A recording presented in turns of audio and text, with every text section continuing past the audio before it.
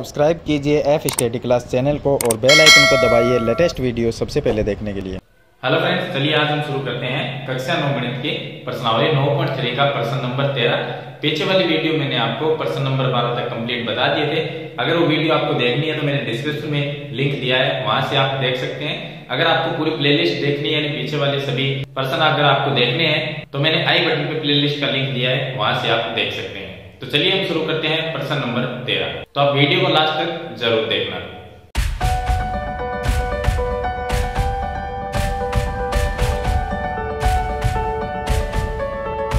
तो देखिए, प्रश्न नंबर जो तेरह है, इसमें हमें दिया गया है, छोटा सा प्रश्न है, प्रश्न नंबर तेरह में कि एबीसीडी एक समलम है, यानी ए बी सी डी एक समलम चतुर्भुज है, जिसके अंदर एबी भुजा और डीसी भुजा समांतर दी गई है, ये एबी है और ये डीसी है दोनों क्या है? समांतर दी गई है।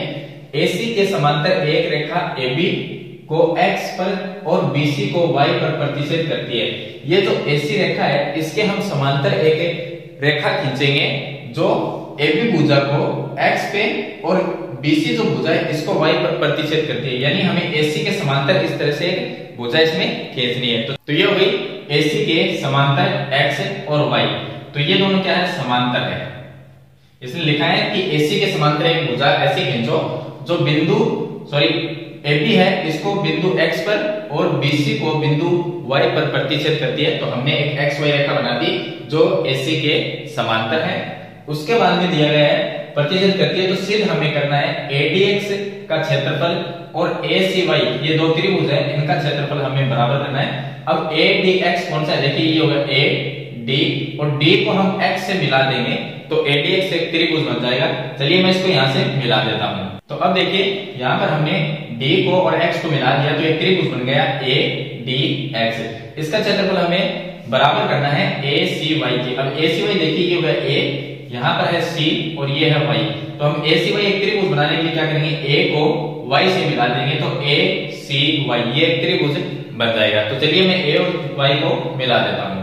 तो देखिए, यहाँ पर हमने ए को और वाई को मिला दिया है तो इस तरह से ए सी वाई एक त्रिभुज बन गया और दूसरा ए डी एक्स इन दोनों का क्षेत्रफल हमें बराबर करना है और इसमें एक संकेत दिया गया कि सी को एक्स से मिलाइए। तो यहाँ पर है सी और यहाँ पर है एक्स इसको हम क्या करते हैं? मिला देते हैं। तो चलिए मैं इनको सी और एक्स को मिला देता हूँ। तो अब देखिए हमने c को और x को भी मिला दिया। तो इस तरह से हमारा ये जो चित्र है, वो पूरा कंप्लीट हो गया है। हमें सिद्ध करना है कि ADX जो त्रिभुज है और ACY त्रिभुज है, इनका क्षेत्रफल हमें बराबर करना है। सबसे पहले हमें दिया है, वो हम लिख लेते हैं। हमें दिया है ABCD एक समलंब चतुर्भुज है। समलम चतुर्भुज है। ये हमें दिया गया है। और एबी भुजा और डीसी भुजा समांतर ये प्रश्न में दी गई है तो साथ में हम लिख लेते हैं ए बी समांतर दी गई है, डीसी। और यहाँ पर हमने और किया है, एक समांतर रेखा खींची एसी के समांतर हमने एक रेखा खींची तो ये है ए सी और इसके समांतर खींची हमने एक्स वाई तो ए सी समांतर एक्स वाई है, ये भी हम लिख सकते हैं, तथा ए सी समांतर एक्स और वाई ये हमें दिया गया है।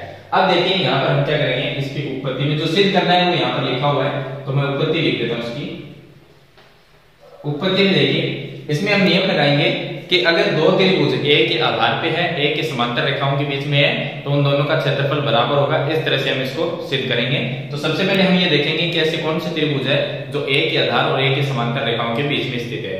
देखिए यहाँ पर समांतर लाइन कौन सी है? ए बी और डी सी ये समांतर है, इनके बीच में त्रिभुज देखते हैं तो A D X A D X जो त्रिभुज बना हुआ है, जिसका हमें क्षेत्रफल बराबर करना है तो ए डी एक्स जो त्रिभुज है, देखिए, यहाँ पर आधार इसका ए एक्स है, और ए बी पूरी क्या है, समांतर रेखा इस तरह से यहाँ पर जो इसका डी बिंदु है, वहाँ पर भी डी सी है, समांतर। यानी ऊपर नीचे वाली ये रेखाएँ समांतर है, इनके बीच में ए डी एक्स ये त्रिभुज बना हुआ है। चलिए एक ये हो गया, और दूसरा त्रिभुज देखते हैं।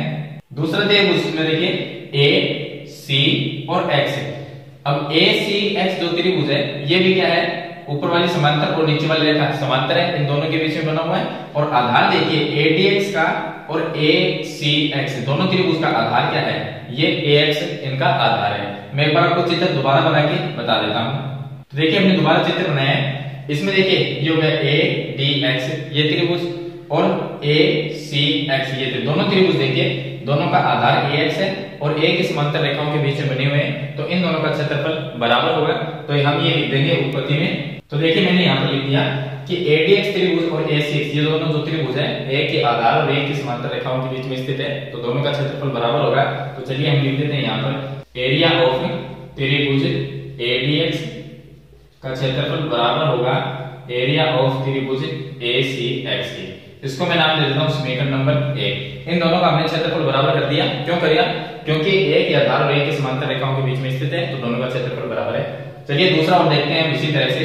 तो देखिए, दो दूसरा हम त्रिभुज लेंगे, एक तो ए सी एक्स ये हो जाएगा, और दूसरा ए सी वाई ये भी ए के आधार और ए के समांतर रेखाओं के बीच में स्थित है। कैसे मैं एक बार आपको चित्र बना बता देता हूँ। तो अब देखिए, हमने चित्र इसका अलग बना लिया है। इसमें देखिए, एक तो हो गया ये ए सी एक्स ये त्रिभुज है और दूसरा ए सी वाई ये त्रिभुज है।